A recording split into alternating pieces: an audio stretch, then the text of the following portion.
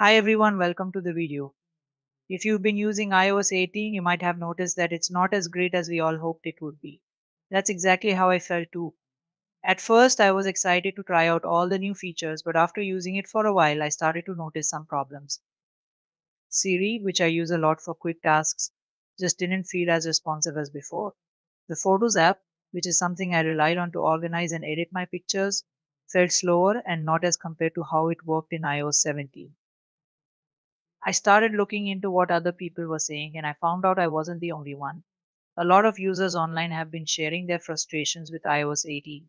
Some even pointed out that small things like app performance and system stability just aren't as polished as they were in iOS 17. That's when I decided to take action and downgrade back to iOS 17.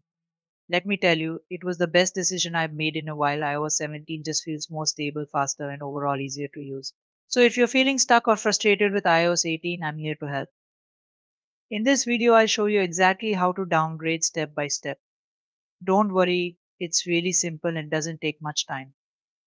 Let's get started. Before we proceed, make sure you've backed up your iPhone. It's always a good idea to have your important data saved just in case something goes wrong during the downgrade process. You can back up your iPhone using iCloud or iTunes. Once your backup is ready, we can move on to the next step. Let's move to my desktop to start the downgrade process. Now that we're on my desktop, the first thing you need to do is click the link in the description below. This will take you to the official website where you'll find the tool we're going to use. Here is the Tenorshare ReiBoot. It's the number one free iOS system repair and recovery software. With ReiBoot, you can safely upgrade or downgrade from iOS 18 to iOS 17 without needing jailbreak or iTunes. It's quick, reliable, and super easy to use. I've already installed the tool on my computer, so let me open it up and show you the process of downgrading.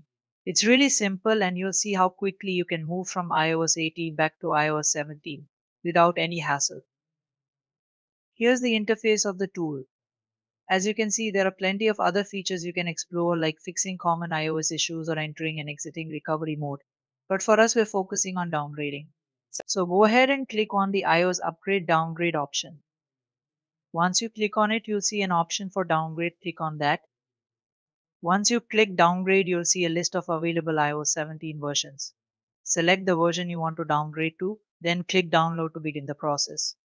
This may take a few minutes depending on your internet speed, so just sit tight while the firmware downloads.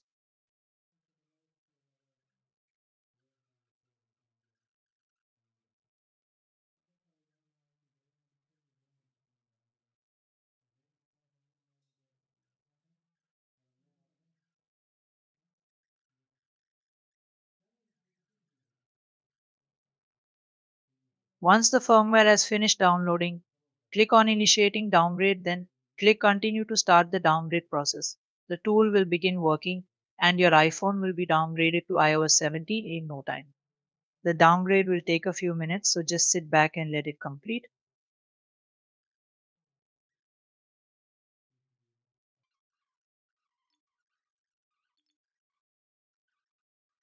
Once it's done, your iPhone will restart and you'll be back on iOS 17 with everything running smoothly again. Now, all you have to do is set up your iPhone as usual. You'll be back on iOS 17 and everything should be running smoothly again. That's it. I hope this helped you. If you have any questions or need more tips, let me know in the comments. And don't forget to like and subscribe for more helpful videos. Thanks for watching.